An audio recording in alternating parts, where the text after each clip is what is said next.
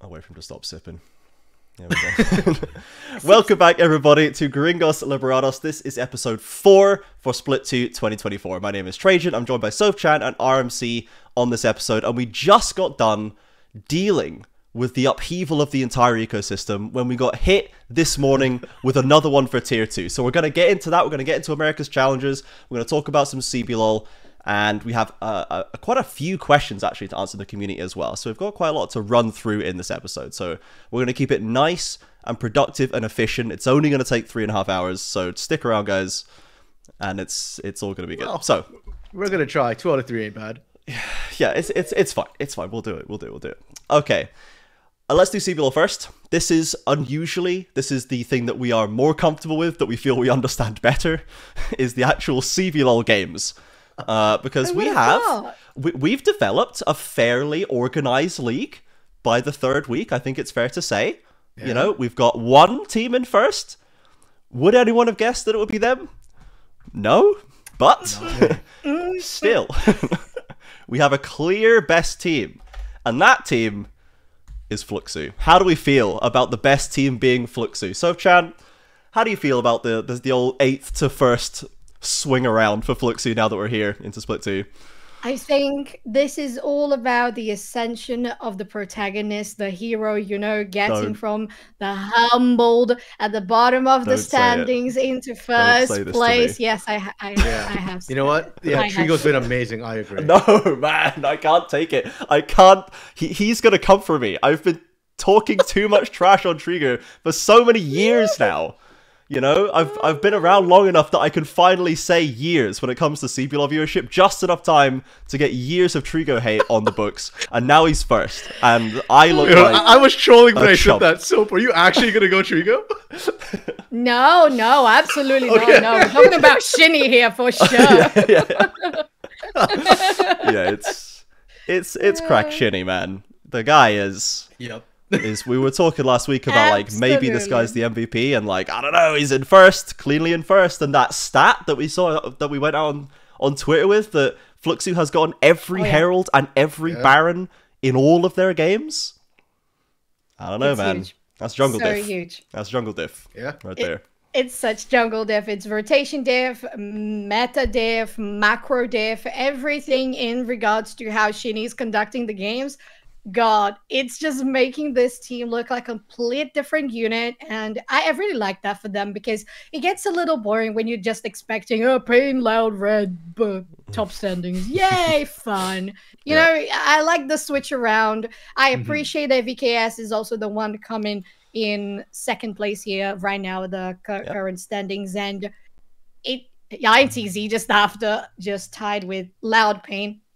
But to me, all of this so far enabled by new players, sometimes rookies with INTZ, that just make this feel such refreshed in regards to CBLOL right now that I I just really like it. Yeah, I agree, and it's interesting too because the only changes they made were Shini and Trigo, and I mean we were joking about Trigo because Trigo. Uh, we didn't have necessarily high hopes for him, though I do think mm. meta right now is actually playing a huge part in Fluxo's success. Mm-hmm. Uh, specifically Trigo's champion pool, and what we're seeing the fact that Jhin is m- allowable in the meta. Again, I don't yeah, want to say it's meta. It's playable. Yeah, sure. And I think that's massive for Trigo. Uh, things like Ashe, Jhin, supportive AD carries have always mm-hmm. been some of his best. And then on the other end of the spectrum, you, he still got the hyper carries, like we saw on the Jinx uh, this week as well. You know that that is those are champions that we knew Trigo for uh, in the past. You know, back when he was on Rensga, even on Pain yeah, just be the team fight champion. So things like Kalista Lucian, that was what we didn't know Trigo for. Uh, but that meta feels like it's kind of over. So yeah. it's perfect for Trigo. And Shini unlocking Kiari, I think, has been huge. Kiari's been floating around CBLOL for a while. We've already said he's good. Other top laners have said he's good. But Shini really feels like he's unlocking Trigo, uh, unlocking Kiari, pardon me, to never before seen levels. Mm-hmm. And I really like it because I think that one is not meta dependent. Like Kiari Shini, that duo yeah, that's just mm-hmm. magic, and that, that won't change throughout the split. Because mm-hmm. it, it's so often felt like Kiari is on his own, trying his best to you know yeah. winning lane more often than he probably should be. He's always had like a nice, interesting pool that you can take to team fights as well. But the teams have just been like some degree of on fire around him. And I think that was starting to affect him personally a little bit. I think like his play did suffer somewhat over the last couple of splits, but he came back in like he hadn't missed a beat, and yeah, now he's got you know. Mm-hmm. I think pretty conclusively the best performing jungler in the league, that's for sure, right now, over these first six games. And he is he's still winning lanes. Like he still has a really flexible pool that no one else is like stretching as far as they can, and he's the only one doing this pick right now. And he's like making good use of it, you know? And it's it's just something has just been unlocked for him that has allowed him to be himself. Um, and it fits really well into a strong team. We can now say that Kiari, you know, you know, when we would say potentially in the past, or oh, if you put him on a good team, then he'd be able to shine. He's on a good team now, and he is shining. Like maybe that was true the whole time that he just needed yeah. a better squad. I think part of it too. It also goes back to Trigo because the last time we saw Kiari find success was on that Rensga squad with Trigo. Yeah. When you can kind of leave Trigo on an island, right? And like Trigo doesn't demand resources, don't give it to him. Give yeah. it to Kiari, right? Like when he was on a roster, uh, even when he was playing with like Juliera, Juliera didn't have a great split. Uh, with Matsukaze as well on that Liberty squad, mm-hmm. but they still sent resources to the bot lane. Whereas we're literally seeing Trigo being ignored right now on this roster, and it's working. like I guess it's just the way you need to play with Kiari on your roster. Yeah, like you, it's because Trigo like you just need to keep him out of the hands check scenarios. Like, don't put him don't put him on that pedestal. Don't ask him to do that, especially against the particular opponents that we have at the top level of the CBLOL. And things like Varus, Lethality, Jinx as well. It's attack speed based ultimately for DPS, but it's like a protect the president champion. Like you need to protect Jinx to get that mm-hmm. first kill, and then the passive makes it so anybody could crush a team fight with a champ. It doesn't matter. Like once you've gotten excited, it's not hard to win yeah. with with with Jinx. So like you just need to keep him safe and activate him and play around him and let him get that advantage. And he's a very reliable player. Now, a lot of the yeah. ultimate like CBLOL clutch moments come down to players hands checking and clutching it out and making a stupid crazy engage or catching a really massive throw or doing like a really big 2v2 outplay early on and snowballing that. And Trigo's not going to be that guy, but if you have a team that can guard against that happening, which is what Fluxo has particularly very successfully been doing, then he's great. And he fits really well into that formula. You know, you don't have to be a hands checker to win CBLOL. I believe this in my heart of hearts. You know, I, I want this to be true. I don't think it's actually happened in a long time, but I do believe this to be the case. So yeah, I agree. I, I believe that too. You know, I believe yeah. that for five straight splits, and it and you know, one we're we're gonna get there. Obviously, we're gonna get it there. Will, it um, will. if it, if it's Trigo that gets us there, I will be shocked. But you I'm know, maybe that will have been the actual who knows truest timeline of all. You know. Maybe, maybe. I think Imagine we also the... need to give a lot of credit to Scamber. Like I think Scamber yes. with. Shini and the shot calling has mm-hmm. been so, so, so good mm-hmm. engages. And for these types of protect the president with the Jinx going Braum, just getting such a steady front line and allowing for Trigger just to be one rocket launcher. I get one assist. I go mm-hmm. excited. Mm-hmm. It's all good. You know, you don't need to be super close because you got range on the Jinx with the other compositions, we saw that going on with the Jhin plus Rell, also so good for setups. And again, you're also incredibly far away from the fight anyway, because you're Jhin, you're just going to be getting your curtain call from a thousand miles away. And your squad, as usually for the these team fights, like Shini and Scamber together, have been getting just insane quality out of every engage and every pickoff, which I think is again, what allows for the team to say, yes, we can do resources for Kiari, we can do resources for Fu, we can even have the resources on Shini that is going to translate to Self in regards to mid to hmm. late game. So I, I, feel like they have discovered the magic you said, RMC, with this specific roster. It's, it's just, mm-hmm. it's working. I love it. Scamber is like, he's like every AD carries dream support he will play tank engage or Braum, no matter what you want him to do. Mechanics, there's no question. He'll make the right mechanical play every time. He'll make great judgments every time in terms of when to pick his engage. He will follow the calls. He will not try and take the hmm. game into his own hands. He's not going to try and run it down at, at two minutes into his own lane and throw your lane for you. He will be right by your side when you need him by your side, and he will be locking out the enemy AD carry when he needs to lock out the enemy carry. And he's not trying to lead the game. He's just doing exactly what the team needs him to be doing and what like every AD carry wants him to be doing. Like he's like, I need to protect you, I need to set you up for kills, and I will do it in the exact perfect way every time. That is that's what Scamber's doing for me, man. And he's got like a great leader coming out of the jungle and like good veterancy experience from Kiari as well. And Trigo, to be fair, as well. He has many splits under his belt. He doesn't have to be an in-game leader like Jojo or whatever, but he's just doing exactly what is needed, bro. He's like, I am the support support. you know, Jordan, you say that, and the moment you said that, it, it came to mind that Scamber was not a particular AD carry's first choice. No. Scamber used to be on Red Canids. Yep. Titan didn't want didn't- He didn't want wanted that. Curry Yeah. on that same roster. Hmm. Now, can you imagine Fluxo plays against Pain in the grand finals and beats them? And then not only does Scamber get revenge on Titan, Yeah. saying that, hey, you didn't want me, Yeah.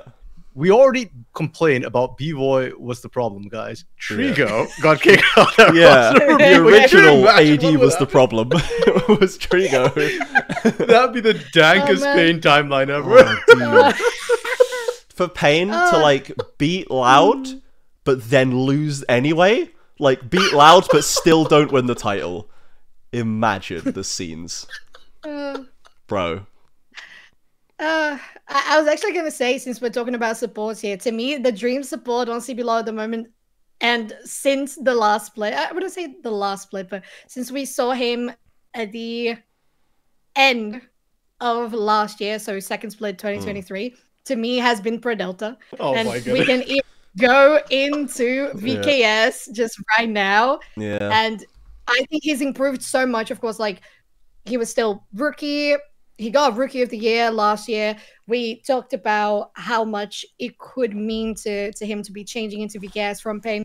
But now, in this split in particular, especially after they got the first seed in regular season, in the first split, it Mhm. just feels like he's much more comfortable to make these calls sometimes himself. And what you said, Trajan, like if you need him by your side, he's by your side. If you wouldn't, if you need him engaging, he's engaging. If you need him peeling, he's peeling. I feel like Prodelta really is the support for Mm. me. And I've been a Prodelta stand for a while, and I Yeah. will not back off this he road. understands his That's role fine, very yeah. well as well. Rods is great. Yeah, Yeah. That, that, that one hurt when they. and he, he has a similar task, right? go. He's protecting Yeah. Smiley in Yeah. the same way. Like Smiley is also someone that you probably don't want to throw into the one v one hands check. You want to have a support and maybe a jungler, maybe someone else behind him, get him that first kill, get him like let him set up with the Ashel or get him the the Jinx passive, and then he will, you know, then you could let him go. So it's a, it's a very similar role I think that Prodelta has to fulfill, and he also does it very very well, while also having a little bit of extra spice in the pool that he's shown us. And we haven't seen quite as much depth from Scamber yet, but I'm, you know, I don't have any doubt that he'd be able to do that because we, as we say, the mechanics are very much not the issue there. So if they need him to pick up Lulu, if they need him to pick up uh, Neeko, like I'm, I'm sure that's that's doable for them. So yeah, very, very, very happy with both of them for sure. Supports are. I'm glad that we have these new supports coming in because so far, it was a while where there wasn't that much excitement there. There was just kind of Ceos at the top, and Zai came in and then didn't end up panning out ultimately. Like there was a lot of hype there and there were good moments, but ultimately it's not stuck around. But now we have Prodelta, Scamber, which I don't think anyone really expected to be as impactful as he has. Um, so that is nice to see to see more more bulking up uh, into that support position, which is just so often overlooked in a in a region which is all fighting all the time. You know, it's it's easier to just get hung up on the carries. Um, so VKS did lose that game to Fluxo. Ev- I say everyone. I and I think a lot of people were like, you know, Fluxo is VKS light. They're both macro heavy teams, but VKS has the star power, has the name power over them. You know, they're just going to be a better version of Fluxo on the day. And it just was the opposite. It was just the opposite happened. And CL basically came out and said, like, yeah, we biffed that one. Like, we made bad choices. We took bad fights. We, I think, headbutted a brick wall or something or other was the wording that Yeah. he used. Um, they were just like, we just fought when we didn't have to fight. And watching back that game, you know, it seems pretty true. Um, so Yep. they just made a bad decision as a team. And then Fluxo were right there to out, you know, maneuver them in the moment and then just push through for a win. So maybe a small stumble from VKS, but ultimately Fluxo have not made a stumble yet. So I guess, I guess are Fluxo light, I suppose, until we are see proven otherwise. Um, I would say so too. And actually, um, just a sneak peek here because we're going to be having on CBLOL a couple of interviews exclusively coming from Mm. players that we're going to be releasing soon in our social media. And one of them that we had this week was with Guigo. And for this match in particular, of course, I'm not going to spoil too much, but he said, yeah, I don't think, for example, the lane swap was a mistake. I think he was still like a, a moment where he would choose to do a lane swap. But Yep. they didn't execute the rest of the game well. Like Yeah. as as you mentioned, Yeah. Trajan about CL, like a couple of mistakes that were just really hitting a point where okay, just stop doing that. Change your trajectory. Change what you want to do about this. And they didn't quite adapt as fast as they wanted to. So Guigo was like, good on Fluxo for actually being Mhm. able to maintain Yeah. not making as many mistakes or if any. And they're just learning quite a lot from this right now. And he had a Mhm. couple of good, interesting takes on lane swap in general too. Yeah, Yeah. and I think it goes back to you know the veteran experience, right? The fact that Shini has been in more clutch situations, and we have to keep in mind VKS is still a very very young roster, right? The most experienced player on that roster, at least in CBLOL, is Guigo. Yeah. and he was at 20, 21, uh, somewhere around there, 2020, 2021. So he's a lot younger in a way Mhm. uh, than Shini. And Shini's a jungler, right? He's used to having that macro view. He goes a top laner. He's on an island most of the time, and mostly still playing down and- every once in a while. Watching the skill feed and be like, well, I'm going to win this game. Well, he's actually done it on the horse. Yeah. Legitimately. yeah. Yeah. So I mean, like in this sort of situation, yeah, it happens, right? We're still in first round robin. Uh, I'm not too too worried. Yeah, we can call Keyd Stars Fluxo like if we want for now, and then we'll, we'll have to see the second round robin whether they punch back, and that to me will be more uh, informative, I guess. Mhm. Yeah. Mhm. Yeah. We'll see if there are any major shifts that are going to affect it. Obviously, we are going to, you know, the patch cycles are going to move on. And we had like Yep. a lot of, I think generally people feel like the game is in a pretty good state right now. I think it seems like it's in a pretty good Yeah. state. I think there's a decently wide variety of styles available across Mhm. many, if not all of the roles. So that seems I like a think the only healthy. one Not that we are probably Axis utilizing utilizing. I was just gonna say, like, not that we are utilizing all of that here in Brazil, No. for example. Like, I love the tank supports, but pl- please, all of the other supports that are also doing well can be yeah. utilized Who too. who who pu- who did the who did the Lulu game? Was it Jojo? Was it Jojo. Jojo? and it was Ayu, like yep. the most godlike Lulu game I've seen in years. It and was, it was like amazing. s- a Yeah. massive impact every single play. He's like got like hands in every side of the play, fixing it with like a whimsy and a slow and a shield and an ult. And like this is what Lulu can do. You know we can pick this, Yeah. guys. Was, we're, uh, we're building, we're, we're drafting like Zeri and Jinx and stuff. Like, let's Lulu exists. exactly. Everyone's playing Sedge. We don't need another one, okay? Everyone's playing Sejuani. You can play Tank's top. We got Yes. Skarner, whatever. Just pick Lulu. So hopefully that will have stuck in someone's head, getting absolutely dismantled by by Lulu in that way. Um, and we know that we've got like Frosty and, and others that can do this. So, um, let's look at the little echelon below our top two here. And there is does feel like there is a bit of a gap now. Whereas before there were three, now there's two.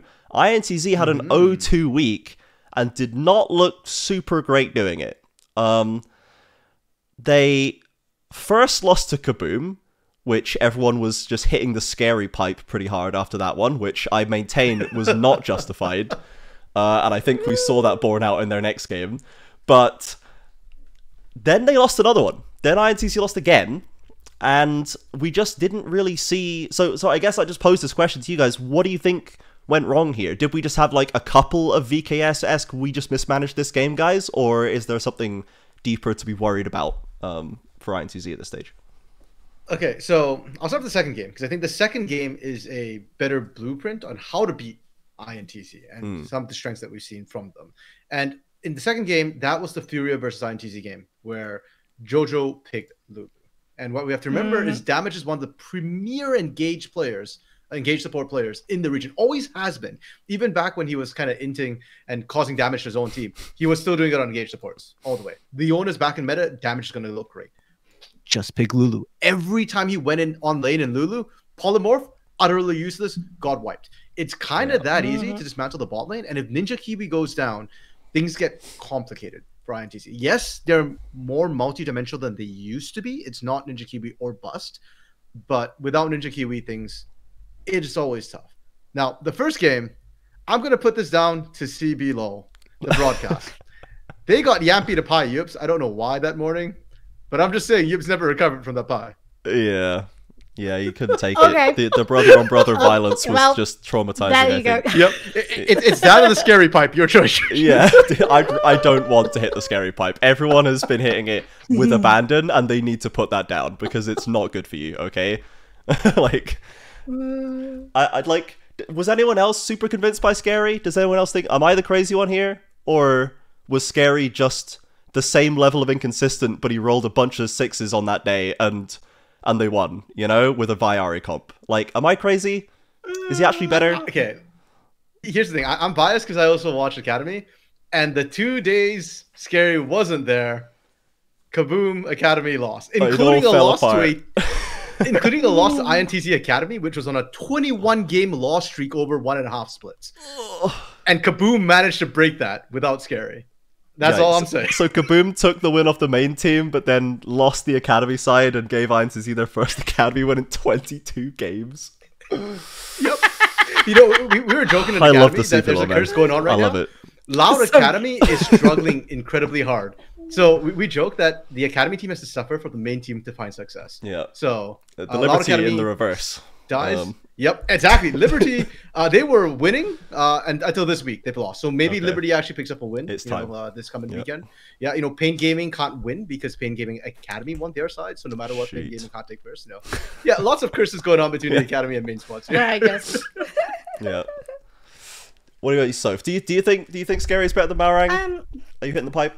Uh, mm, I, d- I- I don't know, man. It, it feels like there's a little bit. Mm, th- there's not enough time to say if there's more consistency or not, right? Yeah. Mhm. And from what we saw, it was a little bit of a pop off, more individual kind of scenario. And I would need some more time to actually see it because I, I didn't dislike uh, Malrang. I True. Yeah. I didn't dislike him. I really didn't. Yeah. And i- if maybe, as I think I've mentioned before, the fact that Scary, of course, being Brazilian, rounds out the team as all speaking in Portuguese helps. Yeah, but is that all- going to be enough? Mm. Right? Yeah. well, they they played against Loud. It wasn't. Mm, it's okay. yeah. We're all talking about the team Yeah, trying to get and- used to the fact that they're playing together. Scary got absolutely stomped out by Croc in that game. To be clear, Croc was so far Yeah. ahead of Scary in that game. It was there was a Which one was it again? gap in the jungle. Is it fair though? Because it is up against Loud, right? And even worse, it's actually like, up against Loud where Croc is not playing something that he can int. You know what I mean? Like What was well, once playing? Croc starts playing Maokai or Sejuani, you know you're. in Oh, then he's he's because- locked in. He's leant Mhm. forward in a chair. You know, it's like, all right, all right, let's get the Maokai Yeah, and out. he, he let's literally can't int anymore. If he gets caught, it's not inting. He's Doesn't just matter. engaging for the team with his face. yeah, you know, and he's it's like- drawing focus. He's buying space. I don't know why I'm whatever the aiming so hard on players was. today. I don't know. We are we are being a little mean today. It's because we were just like you know so high on Fluxo here and VKS our top two. We feel good about our top two because there's lots to feel good about, and we're gonna get agree, down to Loud and Pain now, who did have two O weeks. So if we're gonna get some positive energy here, we you know Croc as we say locked in in a big way and stomped out an Academy jungler who arrived in his game. And like the rest of Loud looked pretty well put together. Um, so I don't really have any notes for Loud. I think like they're just they're they're still just their floor is high in terms of beating them. Like I still think there's obviously big flaws in the way they play the game, but like their floor is high. You have to be so tall to win the game. Actually, like to get their nexus down against Loud, and they're still showing that. Mm-hmm. But for Pain, who we'd have less natural faith in just because they're not on a four championship winning streak. They put two together. Are we actually are we, we happy about Pain? Do we think that they're going to settle back into this top half? Because Furia right behind them, we'll get onto them in a second, are are coming up strong, and you know yeah. they're only one game up. I actually think what's interesting for both Pain and Loud for me this week is they had very clear sort of recoveries. For Loud, Route had an incredible standout week for me, and they Mm. interviewed it. They gave him MVP of the week. They interviewed him, and Route just went, "I, I don't even think I did that good." Yeah, And he, like, he dominated uh, Mm. the both games. I mean, in lane against BRTT, it was like kind of even, Yeah. but once he got out of lane, like Route was just untouchable on that Varus, and Varus Mm. is not even a champion who has uh, an easy time positioning. And in his Yeah. uh, Zeri game, he was literally untouchable against Mm. the dude. Yeah, and so again, good. it's kind of hard against Ashe too, because as you get slowed, normally the AD carry becomes vulnerable because your mobility is not there. But Route positioned so well, he didn't I don't even think he got slowed in those fights. Like, Mizuno couldn't even touch him with a Mm. volley or a basic auto attack. So, yeah, Route was just absolutely stunning. And I am actually, uh, well, the fact that he's that and it's not even his good form uh, is, of course, worrying, I think, for every other team. Yeah. Pain, to me, had a similar situation with Wizer. Uh, Titan's still the standout for me this week for Pain Mhm. Gaming, but Wizer actually looked like Wizer, for, again, for like the first time in 2024. Yeah. Wizer actually looked good. His twisted fate against Makes Darius, the signature Darius that Makes Yeah. played last split that you know shocked all of us, got like pentakill. Uh Wizer bodied him. Like Yeah. Makes didn't even get Yeah. to play the game. Poor guy. And Wizer on this Skarner against FNB, the laning was also uh, pretty clean as well. Mhm. He managed to kind of shut down. And for and I remember Wizer playing Skarner like early weeks, he was missing the impales. He was spot on the team fight. So Mm. yeah, both these teams, I mean, had a big upside, a big upside this week, and I think if they maintain this upside, we get to see the usual top one two of Loud and Mhm. Pain coming back in for the second half. Yeah. We need to yeah, see me if. too. I, I, Oh, go go ahead, Soph. Thank you. Um, I was just gonna say, I think I'm on the same page because uh, it, the fact that Route was completely untouchable, and I agree. I think he wasn't even hit by any of the Ashe auto attacks or volley or even the Zenith Yeah. Blade alongside with the the Leona, right? And it was a composition, not just with that, with the Maokai, with the with the Skarner True, yeah. that was facing against. It's, it's insane how much Yeah. Was playing. So it feels a little bit more in shape of what we would expect of Loud. So cool. But Mm. from Pain, I am really, really on board with the like Wizer deserving so much for this Mhm. week because that TF spacing was Yeah. just so satisfying to watch. He would try to get it every time he would try to pull, right? The Darius, nope, no range. Yeah. Try to no range because he was just spacing so well. It's immaculate. And I feel like every time there was an opportunity to get the, their ultimate into another side of the map and actually make a difference, they were mm-hmm. doing so. Yeah. And with Yeah. the the Skarner game in particular, you mentioned as well, like the Impales finally hitting and being in a good position to really block and be in a good front line and just separate somebody from the fight or bring them in into the fight was just really, really necessary to feel like the other pieces of pain were actually falling Mhm. into place again. Because yeah, Chita did really, really well, but I think it was all because of this just mm, overall just synergy feeling a little more cohesive. Yeah, dude, th- this is why you you you can't just blind pick Darius in pro in like everywhere. this is why you can't do it. As- and this is especially now that TF top is still meta and playable. This is like an Yep. unbelievably new horrendous matchup for top for top Darius, and like he was getting like Mix was getting perma Darius bans, and like we have TF top players. We have multiple TF top players. FNB can do it, Kiari can do it, Wizer can do it. And finally, Pain were like, fine, take your stupid melee champ with no dashes. Like, okay. And we'll just take It's an fine. unreasonably horrendous lane counter to it. And we'll actually just play it well enough to show you why this is not allowed for you to do this. And like, that's was just a clear message sent, I think, that I'm glad that Wizer was there to send it. Because we can't be held hostage by Top Darius, man, as a region. we Well, can't. The problem was this can't be allowed. did As a that for the Yeah. for the entire first split. Yeah, Makes he was doing it. He region held the hostage. whole lane hostage with Dar- Darius, Yep. and like that's not allowed.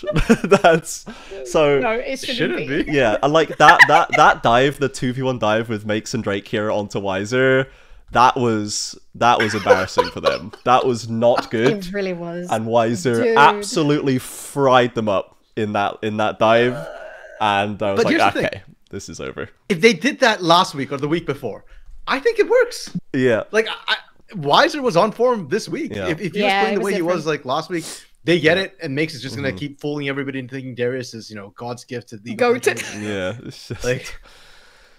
Yeah. yeah. So You know, I, I want to add as well. Oh, Hmm. just just before we go on, um, because it also makes sense with talking about Furia just in a little bit. I was Mhm. going to talk about the fact that yes, TF top is still staple, but we saw a TF mid for Oh, true. INTZ We that also has to be talked about. we did. It was the Furia versus INTZ, so it was Yeah. Dioge on the Twisted Fate mid, and it was a win for Furia.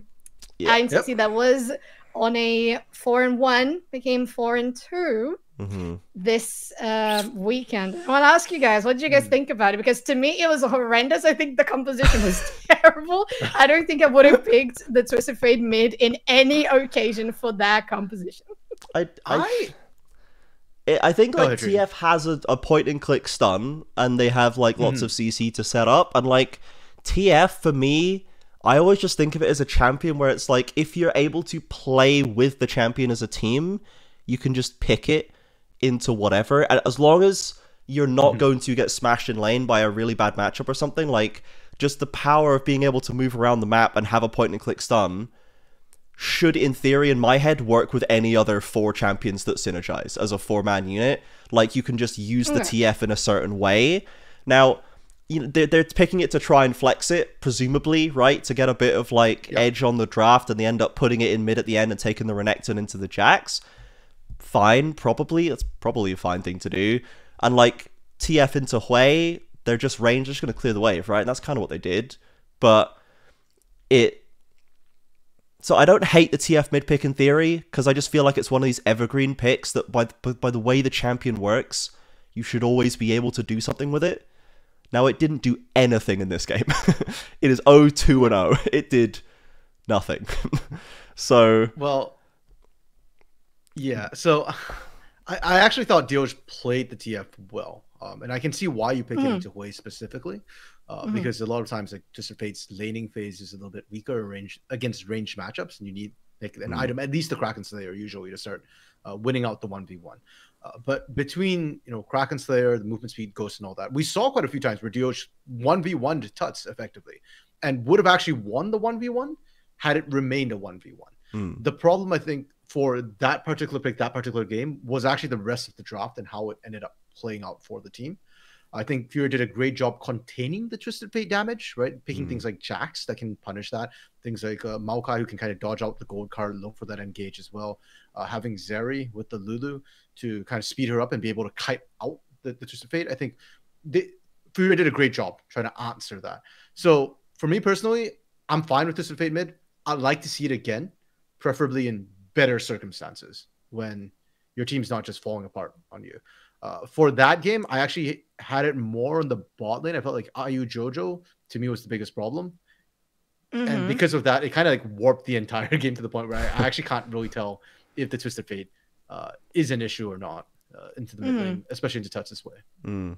I was surprised that he went very AD valid. again because they're like full AD at that point. I mean, Kai'Sa's like, you know, Yeah. both. Yeah. She took that's the point. Like Yeah. Ayu took so long to actually get into the third item to be building that extra bit of a, uh, AP Yeah. I that there was no AP damage. I, I don't know if AP you know very AP good. Twisted Fate affects the game really. Like obviously, like I say, we, we didn't really get a chance to see if it mattered. And like the Yeah. AD is better at one v oneing away probably. Like you're not going to out one v one Yeah. away as APTF.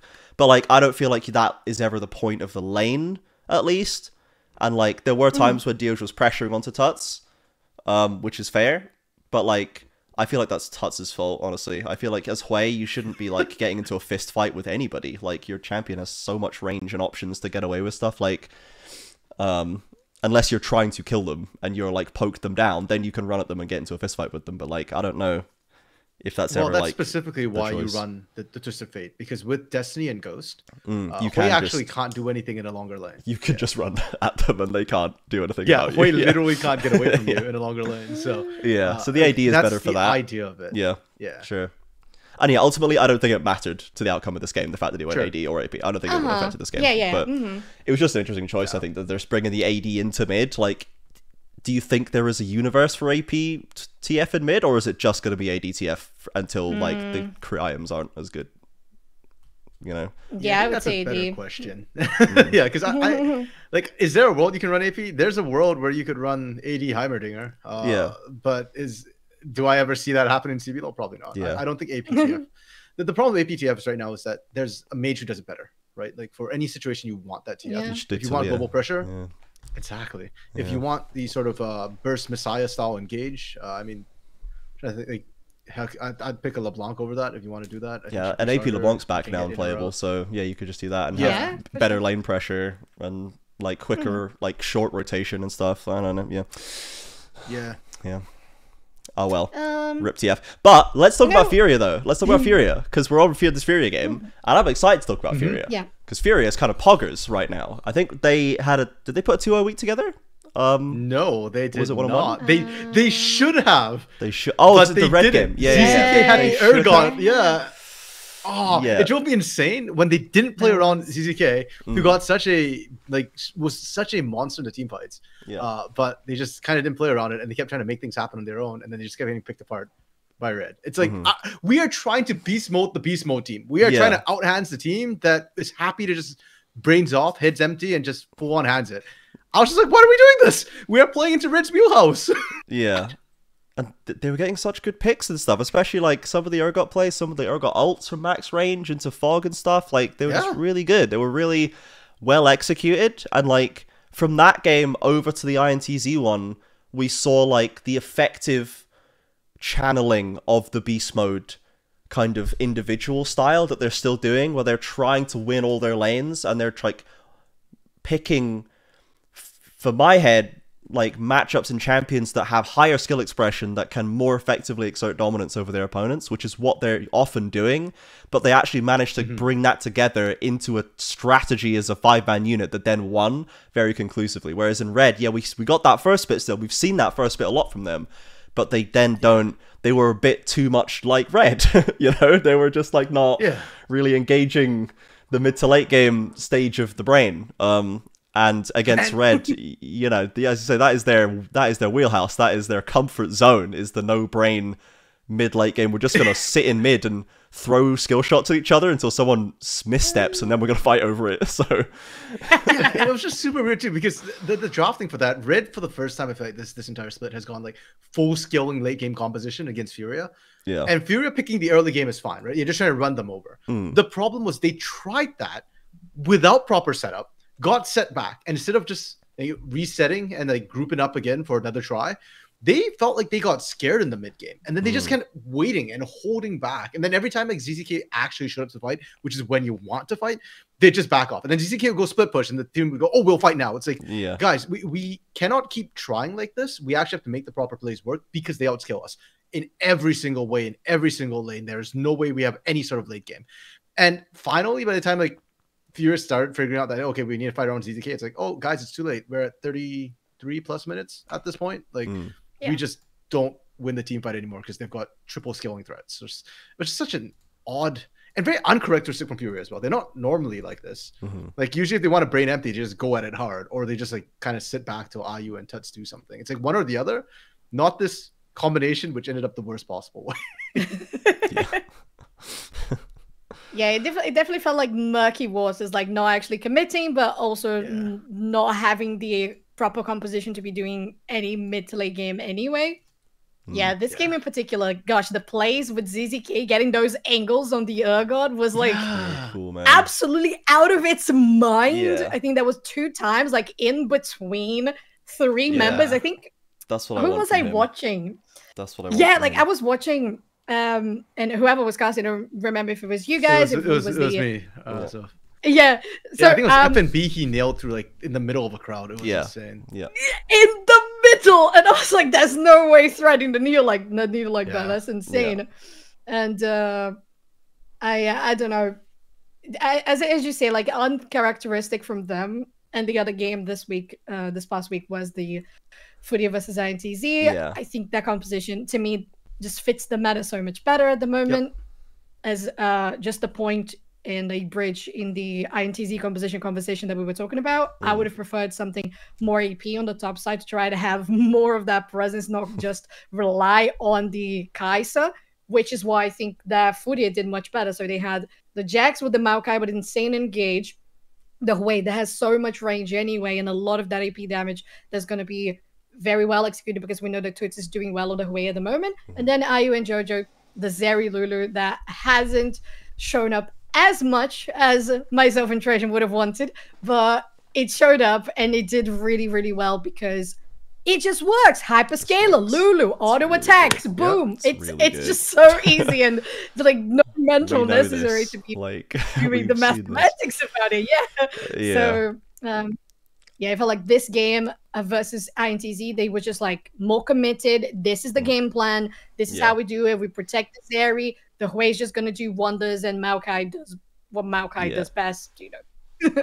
I I really particularly still I'm very happy with Tutsz. I get more happy with Tutsz every game. Um, I'm really he seems to have settled right back into the top echelon of mid lane, which is good. Um, because that's that was my my point on this team was they need him to perform if this team's going to work, and I'm glad that at the very least he is pulling his weight, and that leaves the window open I think for this whole thing to come together and it's it's it's very encouraging. Now we'll see them. Who do they have next week? We need to get a handle on They have Liberty and Loud. Give me liberty or give me death, apparently. Uh, yeah, uh, both I think is is on the docket. So they've got the Liberty game first, nice confidence booster, and then they've got Loud. And Loud is an interesting one because Loud is a team that will lose to a team that plays well. Like Loud will lose the game if you show up with a good strategy and you don't fumble the bag, and you have a good early game, which Furia absolutely does, and you can string it together into the into the mid late game. They have lost two games already this split to teams being able to do that. So if Furia is man- if, if they're they're building to something here and they didn't just have a particularly good game against INTZ, there's a there's a very real chance for a 2-0, which would be the most interesting for sure. Because then they're you know even or just behind Loud, Pain, INTZ, um, you know VKS like lose another game. They're not that far off, and they're they're right up in the mix there, which is where I want them to be. So, um, that would be. It wasn't the extra contender I necessarily expected this early. I think I had them predicted to get up into fourth or something by the end of the split, but like we're we're upping the timeline right now, which I'm here for. Yeah, I love how you started like they're just behind, and then the list got longer and longer. Yeah, they're just behind them, and them who's behind them, who's behind them, who's behind Yeah. them. Yeah. yeah, they just need to work on you know their macro, their micro, their laning, their mechanic. not, not yet. That's, that's no, no. That's our next meme. team. That's our next team. RMC. That's that's KaBuM Esports that you're talking about now. Uh, because Bro, you know bro. we can't Oh, win man. on Lucian, we can't win on Ashe, we can't win on Jinx, we can't win on nothing down in bot lane. And despite the advent of Scary, I think they have the same problem, which is that they don't necessarily know when and what to do. Um, I think they are pretty directionless, like as a team. Uh, later on, we got to see the Hauz Corki again. That was cool. He went two and zero or something. Nice, you know. and from what I hear, Batao is going back down to the Myers of Tier Two, and Lonely is potentially returning mm. to yes. active duty. That is so many changes to a team in a single split. We're why, we're now Ooh. swapping both of the top and jungle to try a new mix. I You guess. know as long as they don't swap Crosstail up into jungle and CBLOL, I'm fine with that. Nope, they're Um, gonna put him in support. I said it. I said it before we I, started. I'm down for it. I said it. We, we joked about it last split about Yeah. playing their academy They're, roster. they're all, At they're this all shuffling the top side every week. The bot lane yeah. is the one losing every time for no good reason. That's my problem. yeah, Like I, I don't know what's going on anymore. I know like people were saying that hey, it's a Netuno issue. Like Ceos is still MVP. I'm sorry, we can't keep saying that at this point. Like, the, Netuno's having a bad time, sure, but Ceos Ceos honestly has been disappointing. You were talking about new supports coming up, Yeah. Trajan, and so like Ceos frankly has been just struggling this split, and Yeah. something's got to change that ball lane. I actually think what they did with Netuno against INTZ, put him on a hyperscale or AD carry, that's fine. Yeah. Right? Like he knows how to play that. We saw him play it against Ninja Kiwi. He didn't win the lane. That's not the Netuno that we'd like to see, Mhm. but he did win the team fights, which is the Netuno that KaBuM Yeah. needs to see right now, whether they like it or not. Uh, and honestly, in both those games, I looked at Ceos and I'm like, okay, Ceos existed. Like he wasn't the greatest engage. I thought Scary was engaging harder and by default better since there was actual engage. I thought Batal was a better screen and playing defensively better than Ceos Mm-hmm. was. So I don't know what's going on in this KaBuM bot lane right now. But unironically, if you wanted to put Crosstail up for a weekend, I'd be down for it at this point. Give him a shot. Yeah. Let him let him have a crack at it. Let him try and manage a two v two with Netuno, man. It's tough, but give him a shot. He'll he's a, he'll play Lulu. I know he will. I've seen it. I've seen Crash. You'll play anything Lulu. you want. Yeah, He just will. Give him the seat, man. Yeah, it's, it's not blending super well at the moment. I think, especially these past Leona games have been just well. There is the the two sides to the coin of like the Leona and Nautilus meta that we have at the moment. They go in, Yeah, it's hard. sometimes they don't get out, right? Yep. so I think I think Ceos has been that side of the coin, just like not really getting the setup as as needed, or the team is not in a good place to really follow it up. So it just felt like every time the Leona goes in and Ceos doesn't come out, Well, but no my- my- kills come out of it either. Mm. mm. My problem with Ceos is he's not even going in. Like he, he I, okay, I don't like the term KDA player, but looking at the way mm. Ceos plays, sometimes that word pops into my head. Mm. Like he's not he's using solar flare as a non-committal engage, which hey, that's fine.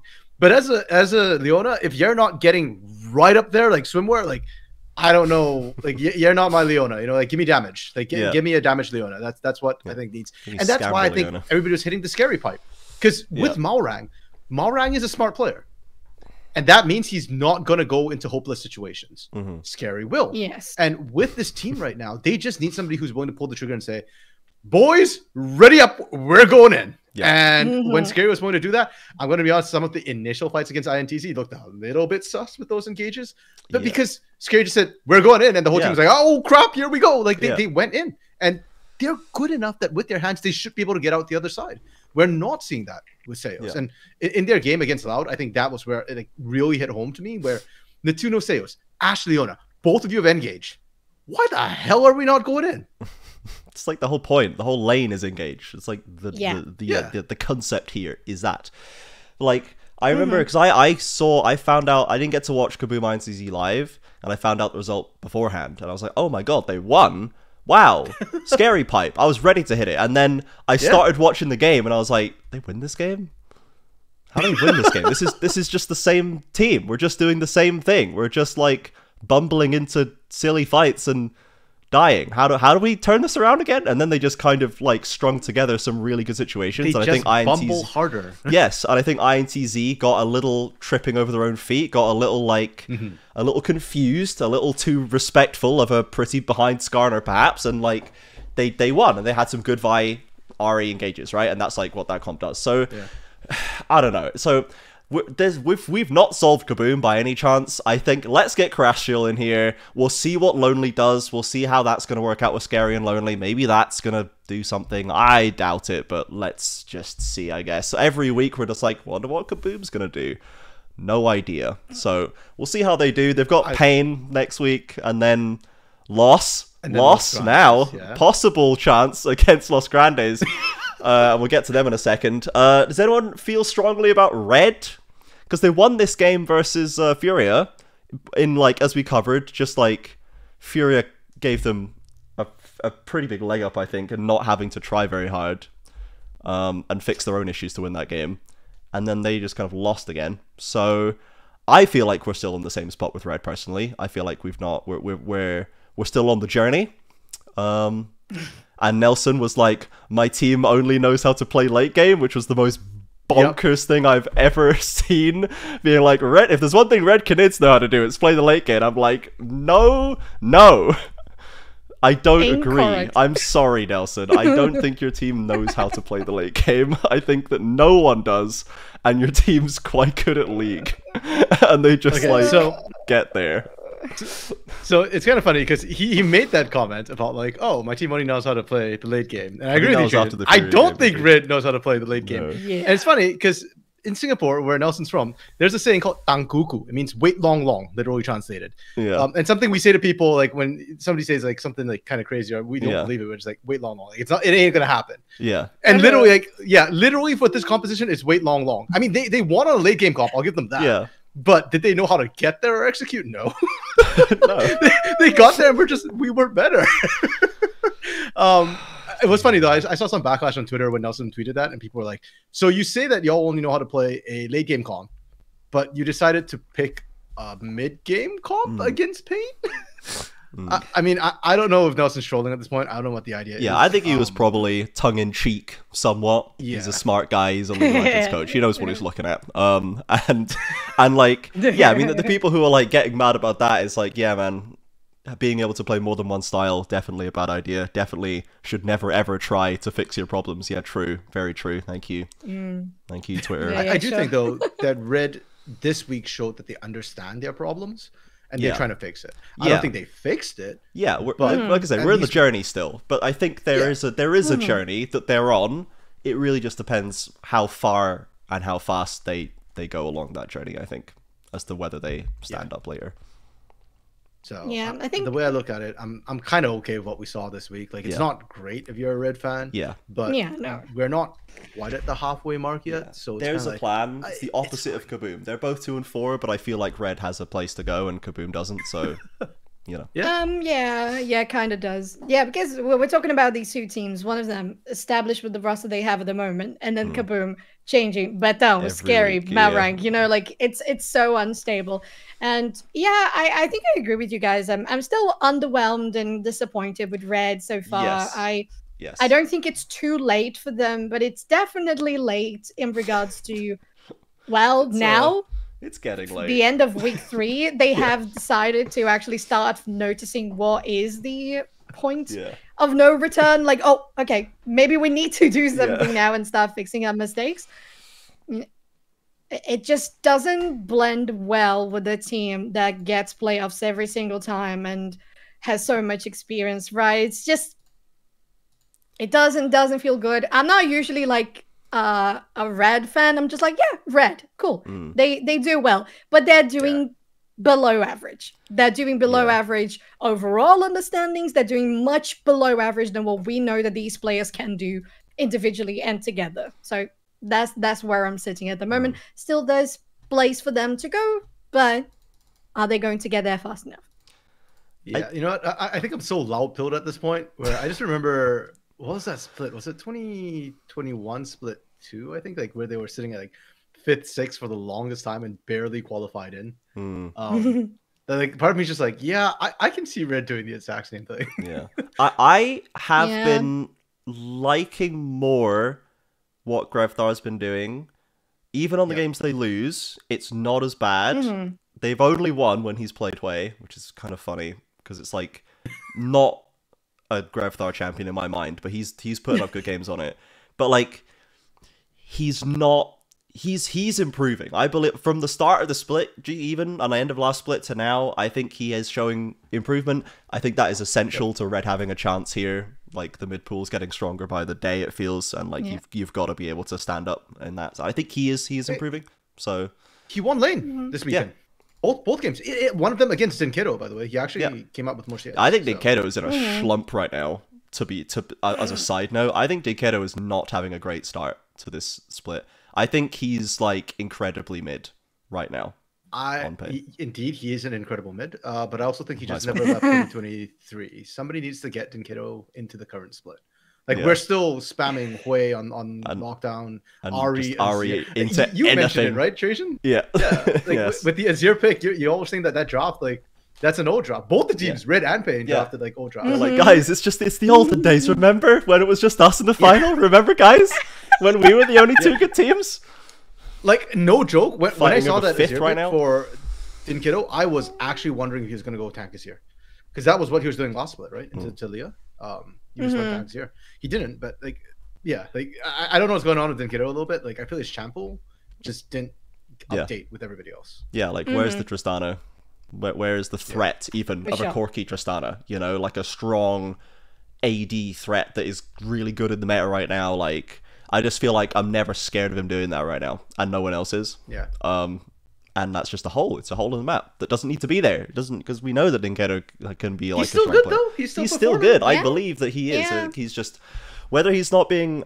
I, I definitely couldn't play like the you know the picks come from somewhere. Players, coaches, both. Who knows? We don't know. But like we, we're just. I just. I just don't feel the the energy from him right now. He just seems a bit a bit flat. When Wizer's picking up again, Titan Curry is Titan Curry. Like love that. You know, karaoke's even had a bit more going on like than than in, in previous splits. I think so. I think dyNquedo's just he's just weirdly out of place and just like not quite up at the up at the level I'd expect him to be at right now. Um, right, let's look at our lovely 0 and 6s before we talk about tier two. Um, Oh man. we're just running out of ways to say that, that these guys the don't same know thing every can't week. buy a win, no matter what BRTT picks. He cannot buy a win, bro. Has he played every Okay, bot we're laner sorry, in the game now? I think he probably has. I think he's probably played every AD carry, and he just can't win. I don't know. To me, the Ezreal game, uh, more than anything else, tells me the problem is not BRTT at this point. Mm. Like BRTT's laning stats have actually been fine, and people are saying, "Oh, but he can't like."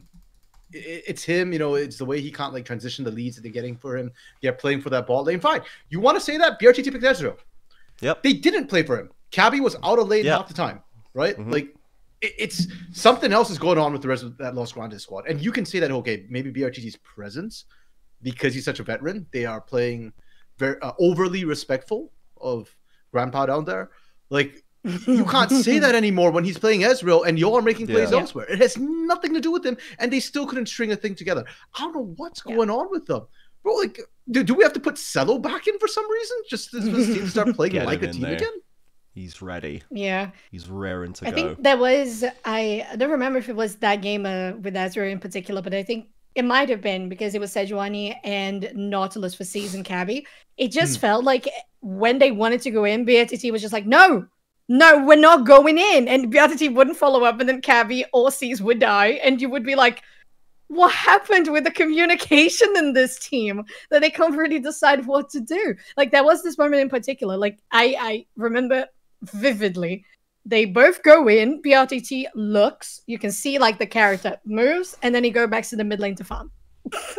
you know, like, like, there's just no synergy in this team.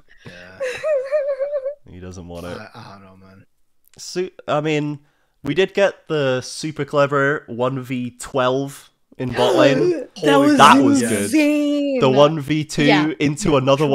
1v1 into almost another 1v1, the entire team Oh, piling in to get him. Yes. And the rest of Lost just standing at the other side of the map, just kind of going, What are you doing down there? Should we be doing something right now? I don't know. And he's like, I got this. I Very got I was crying watching that, and he did it It against insane. Loud of all teams Yeah. too. Like it was what Robo Croc and I think it was Red. No, was it Ten? No, it was Red. I can't remember who the third person was, but like, yeah, it was like Robo and it was Croc to start with, and then someone else, and then someone else, like to finally Yeah. Mhm, mhm. put the final bullet in Yeah. him after he took two or three with him. Like, I was just crying, bro, watching that happen. Like dude. I remember casting that and like borderline tears, thinking about like, yo, he, this kid's doing everything, and Yeah. literally, like, we we can't string together a win off of this.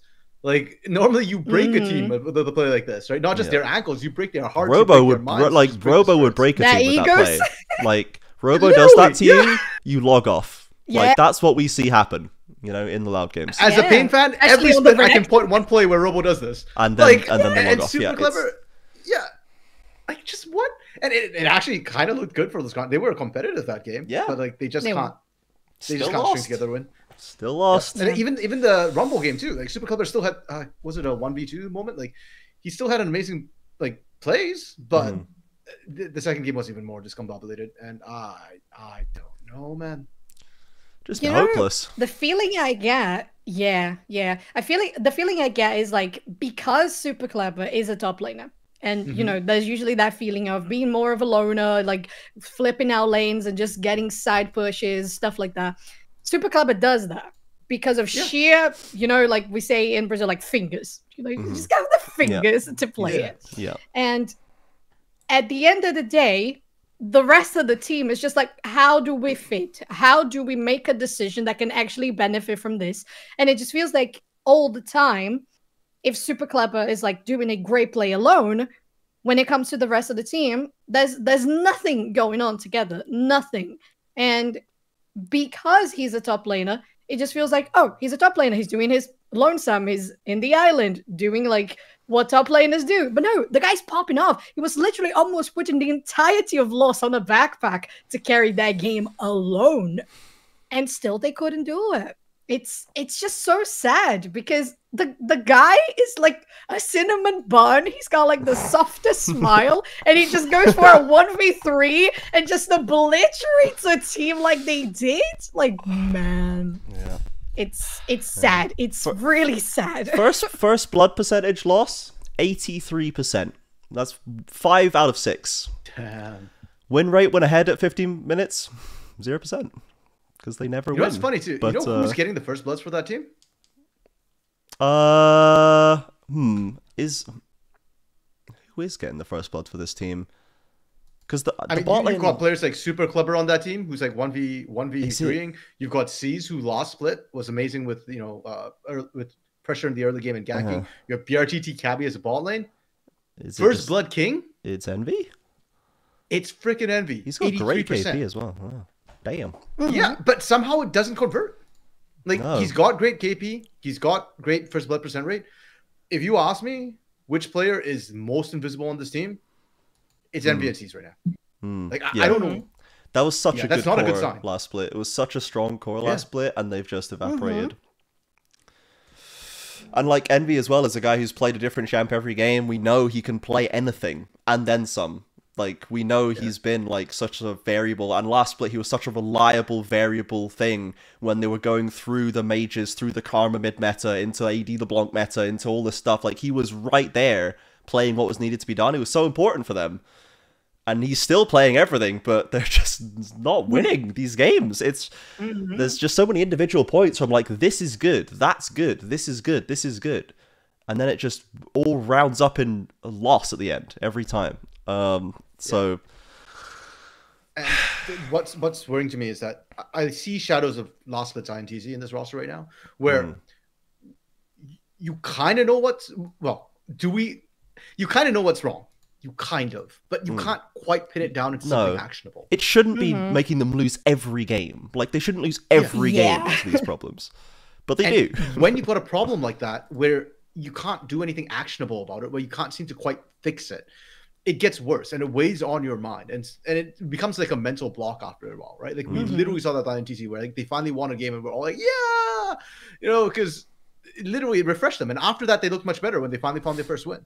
So for Los Grandes now, they're going deeper and deeper into a hole. And each week they don't find a win. It's not as simple as, oh, guys, we are the we are winless, we're the worst team in the league. It is literally like we are the worst and getting worse. Is, is sort of the mindset that's going to happen Mhm. with this team Yeah. at the rate they're going. So I, I very, very desperately need them to to get a win to restore faith in themselves.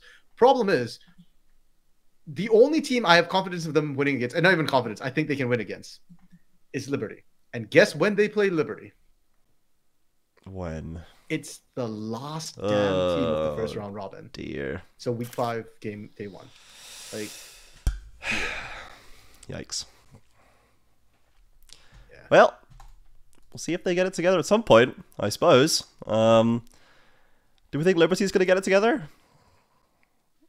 oh, you think we're gonna Academy swap- lost their uh, lost Yeah. the streak, so they've sacrificed their week, so they should get Yeah. one win this week, right? Just swap them, do the thing that Liberty did before, where you just swap the academy team in for a bit, see what happens. Maybe, maybe a quick dub. I don't know, man. I, I don't have anything new to say about Liberty. like they're just the same. Me like we're just. I Fun still think pilots. I still think pilot's pretty good. I don't think we're in a even in a gin playable meta, we're not able to get Mikau out of these games looking good. Um, No, they've And come back to Makes has though, been- for him. there's a risk of makes becoming slightly solved. Um, and the meta also is not in a great spot for him. To be fair, like a meta where TF top is just a, a- a- always good, when makes is an excellent melee bruiser tank one v oneer. ugh, It's not a great time to be makes. Um, for reasons somewhat out, out of his control. fully solved right now. So I was looking at some Liberty stats. Makes is leading in average deaths right now. Oh, he's got the Robo He's award. trying to make things happen. Yep, he literally Robo is number two. Makes his number Jason. He's one right. Robo was number one like last week when we had stats that Yep. we sadly didn't get a chance to present because of the how quick the, the stream was going. But I was ready Yeah. to flag my here's Robo once again, top of the average deaths, right where he wants to be, you know? Yep. And now Makes overtook him. Uh, and Shoot. with that Darius game, unfortunately, where like you said, he got solved. And I think that's the biggest problem on this team when Makes is struggling. Uh, Mikau is doing less than 20% of the team's damage. Let's think about this for a second. Five players on a team. On average, everybody should be doing 20%. Now, of course, that doesn't work because League of Legends has carries. Mm. Which role is supposed to carry AD carry. Most teams, highest damage share is going to be your bot lane. Yeah. Some teams, maybe your mid lane, one or two teams top lane, teams with like Guigo on it, maybe or Kiari might go top lane as your highest. Pilot right now is the biggest carry on this team with 34.7% damage share. Yeah. So Trajan, your gut instinct about Pilot still being good is right. He's frankly Mhm. the only thing that looks good on this roster right now. Yeah. That's tough, man. Yeah. Th- that said, we know what's causing their problems. uh, they know what's causing their problems, and Mm, they already from from the get go the idea they knew they could run to strongles with the strategy they were going to run. Right, Yeah. Turtle and Melcy, they're really smart guys. I've said it before. uh, If they were my coach and they told me, "Hey, this this time we're going to try not scrimming anybody and just practice internally for these reasons," I believe them. I try it. My big question though for them is because I expect them. I think they're comfortable just losing all the way if the split didn't change. But with the merger, I don't know if now there's pressure Yeah. for them to start winning games and whether they'll start scrimming other teams. I actually asked this question on the Academy coach stream. Yeah. Like, hey, is Liberty Academy losing this week? Because maybe Liberty is scrimming against other teams and not their Academy roster, right? Mhm, Like, Mhm. I don't know if that's the case. I'm wondering if that's mhm. what we're going to see this weekend. Yeah, there's Yeah. certainly a lot of undue pressure being put on players and team staff, I imagine, especially Yeah. right now when they're like, well, everything we do might feed into the fact that we might just get nuked from orbit um, in two months. So, sheesh. Um, okay, let's talk about, speaking of Academy, uh, let's talk about Tier 2. let's talk about the America's Challengers, the new Tier 2 tournament. Um, I'm not sure exactly when this is going to be. Um, we're, g- we're going to global three September. split model, and this is going to be in September, I guess. Um, Yep. and this will be top two teams from CBLOL. Uh, sorry, Southern Conference, or is it CBLOL? No, is it we're- we're Southern still CBLOL Conference Academy at the Academy? Okay, so it's No, still we're- still Academy. Academy. Right, so top two from CBLOL Academy, top two from NACL, uh, and the top or one team, the top team from the LATAM North Regional League and LATAM South Regional League that I just learned existed today. So I, I will So- eliminate you. First of all, all the regions have different academy systems or different tier two systems. Yeah. North America switched to what they call NACL now, or the North American Chal- Challengers League. There's two franchise teams that have like guaranteed spots. Yeah. Everybody else is open to promotion relegations, and they have ten teams Yeah. total. Um, in Brazil, we've got CBLOL Academy, which is the traditional sort of uh, franchised where the academy teams are kind of attached to a franchise team. But we expanded this year to 14 spots. 14, yeah. Yeah. So we have four non-franchise teams which qualified through a 128 team Mm-hmm. tournament, uh, or two two 128 team tournaments with the point system. Whoever Yeah. gets the most points, they're in. LA North and LA South. So LA used to be one region, and then Yeah. Riot split them into LATAM North and LATAM South, and that half killed the region. And then they re-merged them back in because Yeah. the two regions were suffering as a split region. They never merged the academies back together. So the mm. academies So weird. LATAM's academy system is a single tournament rather than like a or like one split of a league rather than two leagues. Yep, and they do LATAM North and LATAM South, so that didn't get merged back in. Okay. So because of that, they don't run like the full year system that North America and Brazil uh, use for the activities. Right. Okay. Yeah. so there will be two LATAM representatives, in short, one from North, one from South, two from Brazil, two from NA. So a 16 tournament, best of one group stage with points, I believe, um, into double elim knockout bracket with the top four out of six. So most of full fearless as well. So f- most of the Yeah. teams will get to play best ofs in full fearless, which is cool. Um, Mm-hmm. I don't love having best of ones in a team with in a tournament with so few teams in it. I feel like we probably could have done some sort of best of something from the whole start and made it work.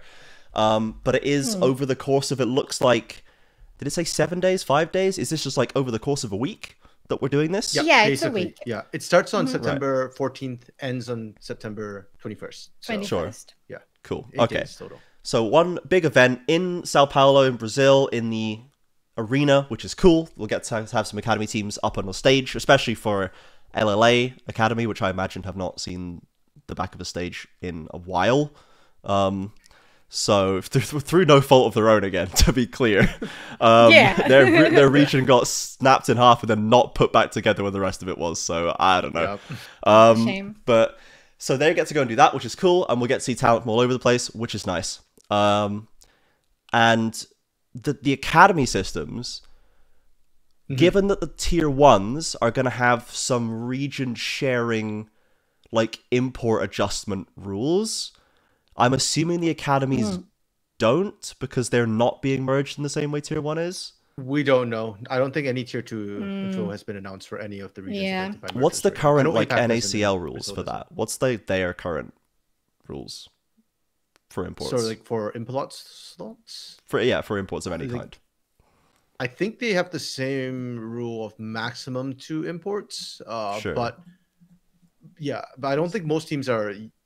Yeah, teams generally it. don't use the import slot. Yeah. Yeah, you've got to pay. You've Im- got to do importing for. NACL is a bit like okay, bro, like calm down. Like this is this is tier two. Yeah, I mean, like we had quad and quid, uh, or quad, sorry, uh, like import DOS split. yeah. Um, but like that's a very special and, and Romer for TL1 challengers as well. Mm. Um, but that's because the main, well, I mean that was FlyQuest and Team Liquid, right? Yeah. They're actually using their academy team like you should be using them. When, Yeah. And you know, you, you bring yeah. in talent, acclimatize them, and bring them up. And there were a lot of imports that mm-hmm. were like OST players, where you're like, when we say import, a lot of times people mean Eastern player, as in like LPL, LDL, LCK, Challengers, Korea player, and like OST players are imports, but there's not a strong region, so it doesn't carry the same kind of we're importing to try and unnecessarily juice us up. Now, the, some of the best imports LCS has had have been O's players, to be clear, like Fudge, for example. For OS but- specifically, it's different too because OS got